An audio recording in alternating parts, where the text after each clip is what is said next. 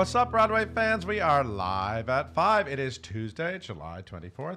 We are here at Broadway.com. I'm Paul Wontorek. I'm Caitlin And Moynihan. hey, who's that guy over there? It's Eric King. Hi everyone. Special guest appearance. Yes. And and a great star today. We Oh, you just Ra- gave a I sigh. gave a sigh because she's so wonderful. We have Sharone Sayegh. See that? In That's how you remember how to pronounce her name. Yes. See, you sighed. I, I like did it. that. Sighed. Uh, but first, today's top five.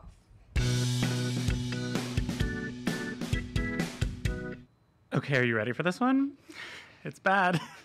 Today we found out the age of Aquarius is actually more of a Taurus. Oh my gosh. It's because, okay, I like that one. So, yes, we found out the release date for Hair Live. Wait, I don't get it. It's because Taurus is the birth, the, the sign of May. Oh, An because Age of the, I the big news Aquarius. was saying It's Apollo. layered. It's the very- air The date. is air big date. Yeah, well that was the headlines. Okay, yeah, okay. Yeah. Hair Live. But yes, Hair Live. It's happening, and we have a release date. It's May nineteenth, two thousand nineteen. So at least we know like it's a fish happening. Mm-hmm. Um, and we know that Tony winner Diane Paulus has signed on to co-direct. Well, of course, she directed the fantastic f- last Broadway yeah, revival. she did. And then um, G- uh, Alex Rudzinski, and he worked on Jesus Christ Superstar Live, which which just got like 800 a billion Emmy Emmys. nominations. Yeah, so we know that's like a wonderful combo. And then also Craig Zidane and Neil Meron. Um, Zadan. Zadan. It's all good. Zadan. It's all good. She's young. I'm young. Um, but they have worked on every single NBC live musical together. They're executive producing it. So like this Oh, I know. This creative team, They're like the they are locked and They're the loaded, ready to go. We don't know who's gonna be in the cast yet, but we know with it's gonna be amazing. There's plenty of time to Plenty of cast time. it. Take your time. Make get it the right good. people. Start Make it- growing your hair out, kids. I wonder if they're gonna do it on like a wigs. big on like Wigs. the big stage like they did with Jesus Christ Superstar, or if they're gonna have it like in like a few different sound I'm, stages. I'm going to make oh, I- the prediction. Same. It'll be like Jesus, Jesus Je- Christ Superstar. Okay. It's the best one. Because hair isn't real. What? They're not going to do it in Central Park. Imagine. Oh, actually, Yeah. the original hair The took in logistics. Washington Square Park. oh, they that'd could be a do good it at the idea. they could go Delacorte. back. Let's shut that down. Okay. Okay. Sounds Work on good. that, Craig Next. Neil. and the West End has a new Roxy Hart. Roxanne. I don't know her. Alexandra Burke. Because Chicago is a thing now, again in London. She's the new Roxy Hart, Mm-hmm. starting August 13th. Um, she won the fifth season of X Factor UK. Love it. Now, what season is X Factor UK on now? It must This be. was like 2000. That I was supposed I be couldn't a even. while I ago. Couldn't been even on tell for you a the I feel like. X Factor's been around a long time. Yeah. Uh, she played Rachel Marron in The Bodyguard, Deloris Van Cartier in Sister Act, and most recently, Svetlana in Chess at the London Coliseum. Ooh. So, congratulations, Alexandra. I'm sure you're a big belter. So that's going to be good. You just pulled a Mariah Carey with the I don't know her situation, but hey, she's No talking shade, about no J Lo. shade. So the next J Lo, um, a Tony-winning play is coming to theaters. Yeah. I'm actually so excited. This is a really good I'm really excited to see it. Um, it's coming. So, Red, the John Logan uh, play Red, is going to be filmed and it's going to be released in cinemas both in the UK and North America on November 7th. And this is um, basically a reproduction of the 2010 Tony winning play. Um, and it won a bunch of Tonys when it was Do you know on who was in it? Broadway. Yeah, Eddie Redmayne. Eddie Redmayne. He- It was, and I remember when he was in it, we didn't know. It was No, like, who's that? He's young, a newbie, and he won the guy? Emmy. No, he's I a mean, he movie won the star. Tony.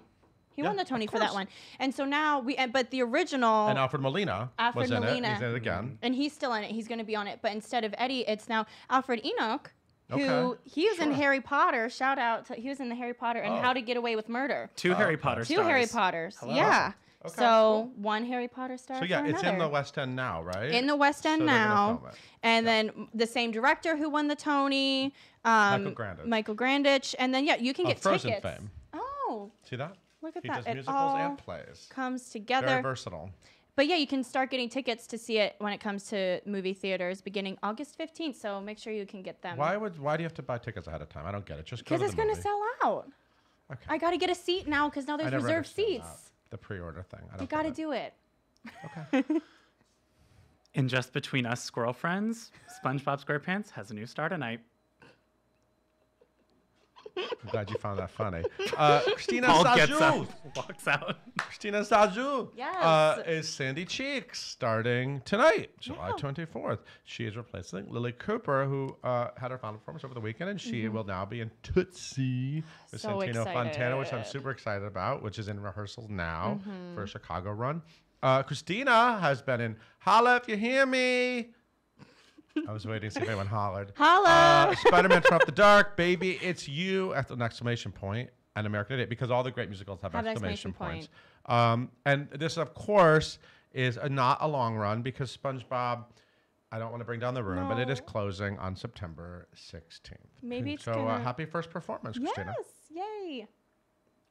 And our very own Caitlin Moynihan recently caught up with a 2018 Tony winner. Tell us all about it. Yes. So our Katrina Lenk photo Yes. shoot just went live today, and You it is- interviewed her. I interviewed her, and not only is she like talented, gorgeous, beautiful, wonderful, but she's Gorgeous just, and beautiful? Oh, both, all of the adjectives. But she's just so down to earth, and she's so Yeah. thoughtful, and Uh-huh. she really takes her job seriously. But she has fun with it. I don't know. She's everything. Well, I think she's appreciating this moment. Oh, yeah. because you know she's been around. She's and, been and It's, and around. Mm-hmm. it's a great moment for her to fu- to soak in it, Yeah, bask in it. bask in it. And we talked about, you know, what Tony night was like for her, Nails. why she did her nails. It's actually hilarious, and what it's like working with Sasson Gabai. Yeah, so we, le- we learned how to say his name let- a long time ago. Yes, we did. So make sure to check um, that out. Emilio, our photographer, Oh, Amelia he took the Madrid-Kuser pictures. took the most gorgeous Literally. photographs of her. You have to look. Please go look and just stare at them and make all the pictures your screensavers because it's worth it. But yeah, so go look at that because it's amazing. Yeah. Yeah. Awesome. Thank you so much, Caitlin. Thank you. It's time to move over. Yes. Because Sharon is here. Uh, she's also on the band's visit. Heck yeah. Uh, hey, uh, Eric, why don't you tell us about her? Will do. Okay, so we've got Sharone Sayegh here, and she's charming audiences in the Tony winning production of The Band's Visit as Anna. She's also gearing up for her first duo show at Feinstein's 54 Below on July 26, titled Project Broadway The Unconventional Materials Challenge. Uh, we're going to find out what that means in a bit. Uh, Sharon's previous stage credits include Broadway's Mamma Mia, The Wildness, Buddy, Around the World in 80 Days, and Disconnect. Be sure to follow her on social media at Sharone Sayegh and leave all your comments and questions uh, below on Facebook Live. And please welcome Paul and Sharon. Hi, Sharon. Hi, Paul. Let's do this Hi, again. guys. Sharon Sai. Sigh. It's like a sigh. Sai with, with a G. Sigh with a G. So, what's the worst mispronunciation you've heard? Ooh. I mean, I get Sharon obviously all the time. Of course, that's And then I get common. Sharona, Sharoni. My Sharona. Mhm. Um, then Sai gets like, oh my God, it's such a mixed bag. It's like Sayegi, Sayej, Saig. I mean, it's just like, you know, take your pick. Reminds me of Siedah Garrett. Remember her? No. She sang a song with Michael Jackson. Anyway. Oh, cool. That's Why not? name. Why not? Back in the 80s. How's it going? I'm great. How you doing? oh my God, you you have been involved with the band's visit. You Yeah. did the I original did Off-Broadway, yeah. Yeah, and now look at it. yeah. And now We it's like not- a fancy, uh, big, t- big Tony winner. I mean, how, Yeah. how are things going over there? It's great. It's um, you know, we thought things might be like a little bit more chill after the Tonys, Right. but right after the Tonys, our Tony, wonderful Tony Shalhoub, Yeah. left to go film Mrs. Maisel, the Which second we season, love. We love that which show. is so We're obsessed. Yeah. Obsessed. Yeah. And So it's um, okay that he has to film that because yes, if yes. he was filming a show we didn't like, we'd be a little angrier. Right, of course. and so we got Sasson from Yes. um, the movie. He was the guy who originated the movie in Israel. Yeah. He's like a huge, huge star in Israel. Right. So He's what like, kind are you seeing that in audiences now? Are there yes. like, uh, There's definitely more Israelis in the audience. Okay. He's like the George Clooney of Israel. Like he's know, a I've big heard deal. that. Like my mother is freaking out. Really? That he yes, like it's crazy. Are you saying he's a sex symbol? well, he's just like been he's like that guy that's like been in everything and like people have grown up with him in like movies and TV shows and plays and you know what I mean? He didn't do an Israeli Ocean's Eleven, did he? Because he should. there should be an Israeli. Ocean's I'd be Ocean into 11. yeah, and he's amazing in the show. He's such a sweetheart and you know, he kind of created the role in the film. Yeah, so it's crazy. It's different than Tony, but like in a wonderful way. It's it's really great. Yeah, that's awesome. Yeah. Um, and so let's talk about who you play in the show okay. because it's very memorable. You have very memorable moments. Thanks. So I play Anna. She's like the girl about town. Yep. Um, I was actually talking to our director David Cromer when we were off Broadway Tony about Winner, like David Cromer. Tony Winner Every- fantastic. Tony's everywhere over at that show. um, just about like you know why Anna's in the show and like what she represents. And he was like, Anna represents really like what Dina was 10 to 15 years ago. She's like this young girl who like is so hopeful. She's on the best date of her life, but life just hasn't treated her terribly yet. You know what I mean? Yeah. So she's there to kind of show what Dina used to be and to, to kind of give you that like more, you know, the more heartache that you feel for Dina because you feel like, oh, that's where, you know, because like Anna will probably marry Zelger, the Uh-huh. guy that she skates with. Mm-hmm. They'll probably have a terrible marriage and get divorced, and she'll stay in this tiny little town and end up like Dina. You know what I mean? Right. Um, so yeah, that's kind of like what I represent in the piece. So fun fact, Mm-hmm. and, uh, and of course Dina is the fantastic Katrina Lenk. That, that that's her role. Um, there's a lot of mystery to her. Yes. Fun fact, you are also now covering that role. Yeah, which So I'm that's really that's excited fun about. That, that you you represent her, but Right. now you're also exploring that a little bit. You want to know a little secret? This Yeah, is like we love Broadway secrets. So when Katrina, I was like watching her, you know, off stage as, as I'm learning the role, whatever. And when she's going out for the going out scene, she puts lipstick on, right? Uh-huh. And so I asked our makeup artist, like, do you want a specific lipstick color, whatever? And she's like, well, Katrina uses this Marc Jacobs lipstick. It's called Kiss Kiss Bang Bang. I was like, that's the exact lipstick color that I wear as the soldier in the beginning. What? Foreshadowing. Really? Yeah. Isn't that strange? it's like that's the one lipstick that's sold in Bet Hatikva. Kiss, you know kiss, what I mean? bang, bang. I By love Marc it. Jacobs. you know, that's a great tip for everyone, like people watching this video, like in 20 years, doing it in community theater. You should wear that if they still color. make it, if not, look on eBay. I'm sure. Maybe you you should maybe buy something. You could sell it on eBay. I know, right? it's Or, like, like, a good. It's a key. autograph It's key to the role. it's a great color, honestly. It's a good color. Yeah. Good. I'm glad The to hear that. drugstore finds in Peta Tikva. They're so good. Although I feel like here you can only really find it at like Sephora. You like can't even find it at the drugstore. Okay, Yeah. so I want to talk about unconventional Yes. challenges. Challenge? The unconventional materials. Material. challenge. I'm sorry, the No, challenge. Because I'm thinking. Project Runway, which is what Right. it's inspired by. The Yes. con- unconventional material challenge is famously where they like go to a junkyard Yeah. and they say, pull crap out of the dumpster and make Right. a, make fashion out of it. And they make these like gorgeous dresses out of like trash and like tubes and like and it's the best. and it's so cool. And now they do it on Drag Race too, I think. Don't they? Eric? Oh, they they do. do. Yeah, yeah, they do drag on a dime. Ra- you know. Drag on a Dime. oh dime. yeah, yeah, yeah. Cool noodles. Yeah, Eric and I could talk about Drag Race. It's good, Yeah. to, it's good to have you over there. Thank you for being here. um, but okay, so you were doing this show with the fantastic Raymond J. Lee. Yeah, so I How, Now, how do you guys know each other? So we did Mamma Mia on Broadway together. Ah. I think it was both of our Broadway debuts. Wow. We were babies. Okay. And we just like instantly became really close friends. We loved singing together. He's We've- funny. He's so funny. He's a funny he's like guy. such a goober. He has like the best voice ever. Yeah. Because he can just like he like gives you silky smothery stuff, like silky buttery stuff. You know what I mean? Uh, okay. Not smothery, buttery. Okay. Okay. okay. um, but then he's also just like so hilarious. So you do it. So this is the, so who had the idea of this show and how did it? So yeah, we like we were like, okay, what do we want to sing? And we kind of like made this list out, and it was like very much a mishmash.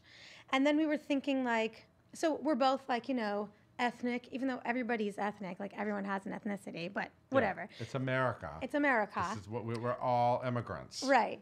But we were thinking Gone. like we don't want to necessarily make it about that, but we there are some roles we would like love to play that are normally, you know, not cast as like Middle Eastern or race Asian.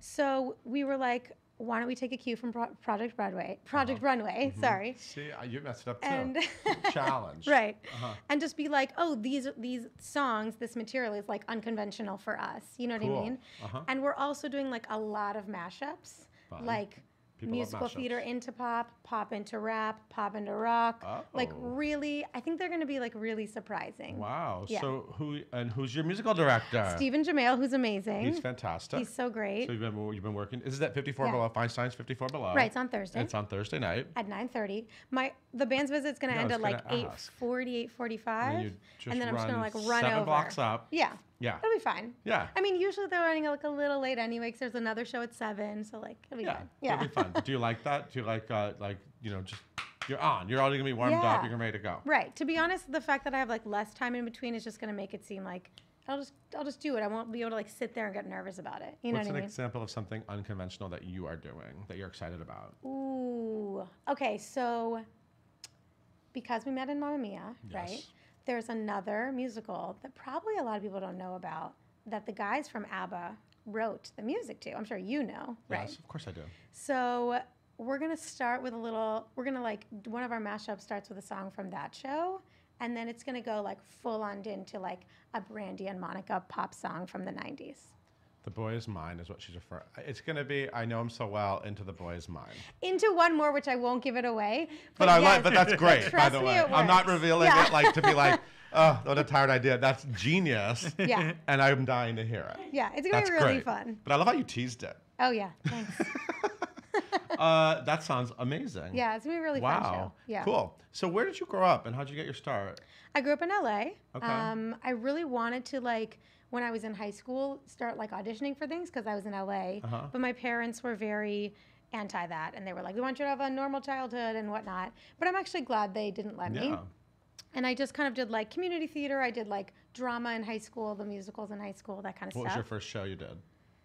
in second grade, I did Free to Be You and Me.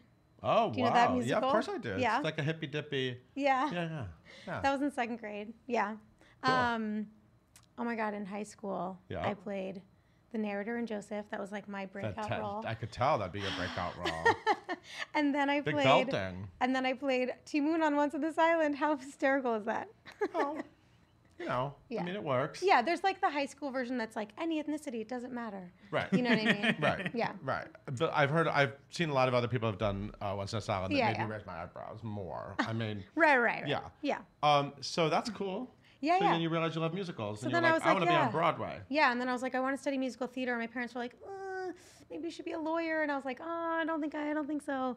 So then I was like, I'm just gonna audition for schools, and they were like, well, you can't leave California. We want you to stay in California. Okay. And then I was like, sure. So back in the day when I was like, this is like showing my age. I made a VHS tape Yep. for my audition for like all the schools outside you of didn't say California. No, I didn't say beta. VHS. VHS. And then I like sent them out to like all the East Coast schools that I wanted to go to. Okay. And then when I got accepted to some of them, I was like, so I got in. Can we like go look at that? And my parents were like, ah. So, So where'd you go? I wound up going to Syracuse, which is Oh, upstate okay. New York, which Yeah, I yeah. loved. Um, I had such a wonderful time there. And then after school, I just moved here and started auditioning. Was the narrator on the VHS? You know what? I can't even remember. No, I don't think so. I think I sang "Waiting for Life" actually on the VHS. It's yeah. a good song. It's a good song. uh, hey, Eric, uh, are there any questions from the fans are. online? Do you have questions that we for can me? engage Yes, with? I just want to say I'm also a Syracuse grad. Go Cuse. Hello. Oh my God! Um, Hello, Eric. Yes, hello. You seem like you have a lot Um, of friends in the biz. I do have a lot of friends in the biz. Yeah. Well, Syracuse is so close that like most of your class winds up moving down here, which is nice. Right, So you like right. move to the city with like 30 of your friends, which is awesome. Right. Slightly less snow here. Yes. Slightly. okay, so Katie would like to know. She's so excited to see the band's visit in August. She Oh, would like to know a little bit more about your put-in rehearsal for Dina. Oh my God. Okay. I was very nervous at the beginning, but it went really well. Um, so when you have a when you rehearse when you're an understudy on Broadway, you usually rehearse with just like the associates, like the associate director, the associate choreographer, and the other understudies. You don't do it with like everyone in Right. the show. And then in your put in, you do it with everyone in the show for the first time. And like you're the only one in costume. Right, right, And everyone is else is just like dressed like this. And Yeah. you're like, this is so awkward. Um, but it was great. Everyone was super supportive. It's your first time doing it with like the makeup and the hair and the costumes and the sound and the lights and the set, like all the turntables moving and all that. Cause you know, we have a couple of turntables in our Yes. show. People love those turntables. Um, and also, you know, like we have um, instruments, we have like musicians on stage, right? Right. So, like the first time I'm like singing Um Kultum, I'm like trying to like be really great about it, and all I can hear is like our amazing cellist Garo is on the stage, he's like on the left side. It's he's just like more with like the cello sound, and like I can hear that when I'm backstage in the mix, but like on stage, I was like, oh my god, this is so different than what I'm used to hearing, you know? Yeah. So it's definitely like a big adjustment period, but that's why you do put-ins. Mm-hmm. And it was really fun and it was really wonderful for like all my cast members to like be like, This is so exciting, you're killing it, you know. So so yeah, it was fun. That's great. Yeah. I love it. Now that that happened, I feel like, all right, if I have to go You'll on, be ready? I'm ready to go. You feel good to go. Yeah, I feel good. Okay. Yeah. Okay, Ja- Jake would like to know um, Is there a part of the show that you look forward to watch or perform every night? And I mean, that could also change now that you um, are understudying Dina. Right. Um, I love the roller skating scene, to be honest. It's just like so surprising for the audience because, like, we were just with the family and, like, Iris and Itzik, the John Cariani and Kristen Sieh, like just have Yeah. like this huge fight, and you just expect it to be like this like emotional moment, and then like Bill comes out and he's like skating, and it's so funny. Um, and like you can tell the audience is like, oh God, woof, thank God. Like I feel like I needed to release the tension, Yeah. you know. Um, so like I really enjoy that, and because we have like so much like oh just like business at the DJ table, whatever, we get to like chat with each other. Oh. And I always like me and Jonathan Raviv, we all- we speak Hebrew. We're both Israeli, so we like kind of mess with people on stage, and we like say things to them in Hebrew, and we're like trying to teach them Hebrew, and sometimes they have no idea what we're saying, and sometimes they do, and it's it's like keeps it fresh every night, you know. Are they getting any better? Oh yeah, totally. good. At, like there's actually moments in the show now where we have like these little like conversations like in the back of the scene that you can't the audience can't hear, but they're like fully in Hebrew, and I'm like so impressed with Wow. all the actors in our show because people have been studying like on Duolingo and stuff. That's so cool. Yeah, it's really cool. Awesome.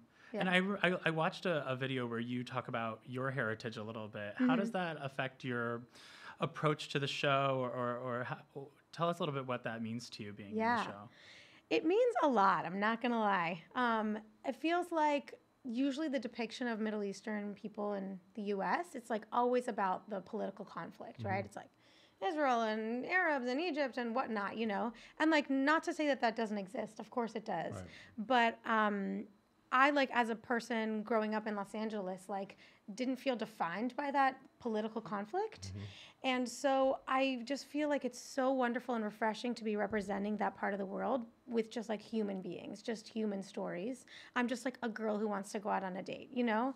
Whereas like in general, you know, almost every TV show I've auditioned for when it's like a Middle Eastern role, it's like terrorist wife number two. You know what I mean? And it's just like most of the people in that region of the world do not feel represented by the politics of their governments. I think like we in America don't really feel like represented by the politics of our government right now. Um, So like it just feels really great and I also just feel like I've had so many like um, young girls and boys on like Instagram and Facebook like message me and be like I'm Israeli or I'm Middle Eastern and like I'm like seeing myself on Broadway for the first time, you know, and I think if I had a show like this to look up to in high school it would have been like you know. So I just feel like really proud and grateful to be in this piece. beautiful. Yeah. I mean, this show's gonna be around for a long time. Oh, fingers crossed. Yeah. Um, but I also have to ask you, since you made your debut in Mamma Mia, Yeah. have you seen Mamma Mia? Here we go again. I have. It's really fun. What'd you think really of it? As a Mamma. Mia expert. Ah, it. To- I definitely teared up twice. Yeah. I don't want to give away which moments, but it's really fun. We had like a little screening for a lot of people that were in the Broadway company. Oh, yeah. Um, it was great. Ah, so like, what's what I loved is like my favorite favorite ABBA song is Fernando, Oh. and it's not in Mamma Mia, although secret. In like on the in the Broadway version when it's already closed, obviously, but when Donna before she sings Mamma Mia, when she's just like fixing the like doors before she like sees all the dads, Mm-hmm. I the love when three she's dads, doing handiwork Right. at the resort. I love that. she like hums Fernando. It's like she hums like eight bars of it. So some people never notice that, but she Oh, does. I She's never like, knew that. An Easter egg. I love it. and then she like Oh. notices the guys. Yeah. How cute So is thank that? God they like put Fernando in. And Cher's singing it. And Cher is singing it. It's so good, and I love it. It's my favorite ABBA song. And Andy Garcia. Oh yeah. I didn't even recognize him at first. Yeah, I didn't like, Oh my God, that's Andy Garcia. and everybody looked like so tan and sun kissed. I was so jealous because I feel like they film on location, like in Greece. Yeah, Yeah. I know. I know. I don't know how they film it, but it's gorgeous. beautiful. It's delicious. Uh, maybe we need like a band's visit prequel or something. Ooh. Put Fernando in there. I don't know. A band's visit Mamma Mia mashup. Ooh, I should have done that for the concert. That's the next show. Maybe I'll add it in like two But days. this week, the show is called Unconventional Material It's called Project Broadway, Project Broadway. Instead of Project colon, Runway. okay. the Unconventional Materials Challenge. Okay, good. Okay, Yeah. good. And uh, Raymond J. Lee and you, and it's at, at 9.30. Mm-hmm. You're going to run over so people maybe can see the band's visit if they can get tickets, and then run over. They could do like a whole night with you. Yeah, They totally. could run up seven blocks with you. Yeah, there's like a half an hour in between, so you could you can make it happen. Yeah. Yeah. Yeah. Cool. Well, sounds fantastic. I'm so excited to meet you finally. You And uh, I hope uh, one day I get to see you play Dina too. That'd be fun. Yeah, that'd be great. Yeah, cool. I'll keep you posted. Okay, awesome. Thank you so much, Sharon. Uh, hey, Eric, why don't you take us out? Will do. Okay, thank you so much for tuning in. We have Live at 5 every day on Facebook Live here. And you can also listen to us as a podcast wherever you get your podcast. Just type in hashtag Live at 5. Um, be sure to tune in tomorrow when we talk to Jason Danieley all about Pretty Woman. Bye, everyone.